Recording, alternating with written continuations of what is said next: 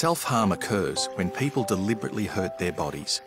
It is often done as a way to cope with painful or overwhelming feelings such as anger, stress, depression, or fear. Understanding self harm can help schools play an important role in supporting children who may be at risk or showing signs of self harming behaviours. Self harm is a term used to describe a group of behaviours that people use to deliberately hurt themselves. Some examples are cutting, burning, and self hitting. There's two main reasons why people self harm. Firstly, it's to cope with overwhelming emotions, and secondly, it's a way to communicate to the self and to others that things are not okay.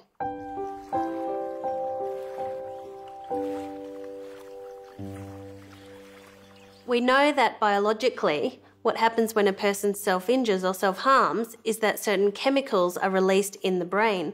These chemicals actually lead the person to feeling more calm. It's a very similar effect to what you might find after you do some exercise or eat some chocolate. This might seem contrary to what one might expect after someone self harms. Some people have likened self harm to an addictive behaviour. This is because although initially the self harm behaviour will make you feel good, nice and calm, it then leads to feelings of shame and other negative emotions, which can lead to another episode of self harm, which in the end sets up this cycle of self harm behaviour.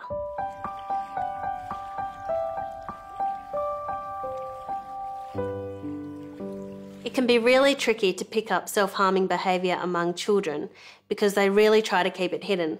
They can do this by wearing long sleeves, long pants, bracelets, and jewellery to cover up their skin. They might avoid activities like swimming and sports or anything else where their skin might be exposed. There's a difference in self harm behaviour between primary school children and adolescents.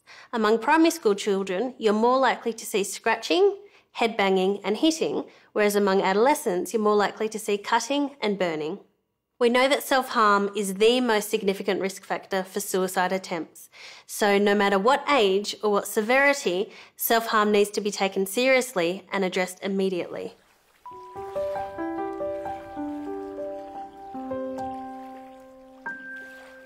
In terms of occurrence, there's actually not much data about self harm in primary school age children.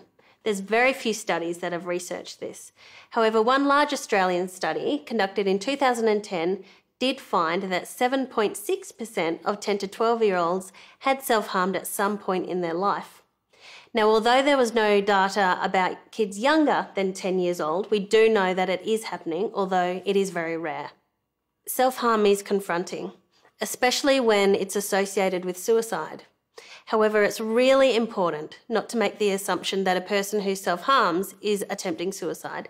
Especially among children, self harm is usually a way to cope with overwhelming emotions and is not usually a suicide attempt.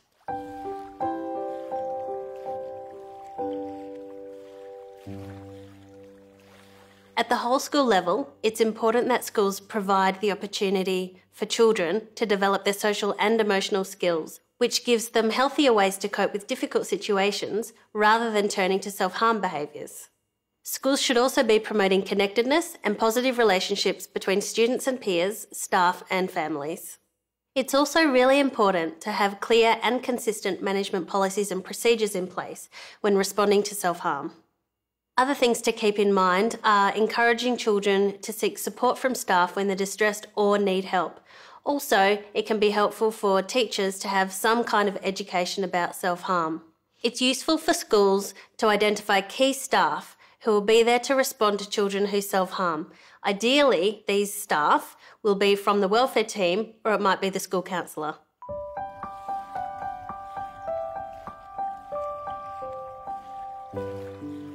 The most important factor to consider when responding to a child who's self harmed is to be non judgmental and calm.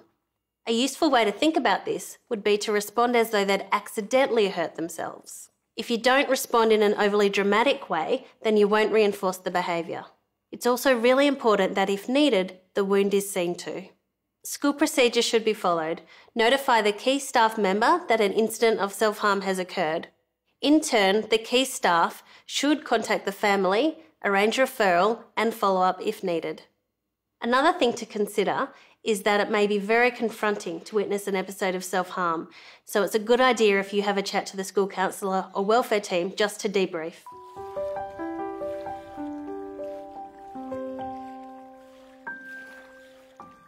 Families are often stressed and overwhelmed by the situation. Schools can be a place where families can feel comfortable seeking information and support. School staff can also support families to work and liaise with other professionals who may be involved.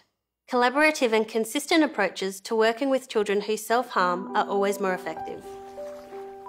An important part of prevention of self harm is having a supportive school environment which is focused on building self esteem and helping children learn how to manage their emotions. The KidsMatter framework supports schools in assisting children who self harm by promoting positive coping behaviours. Effective emotional coping in childhood helps support children's mental health for life.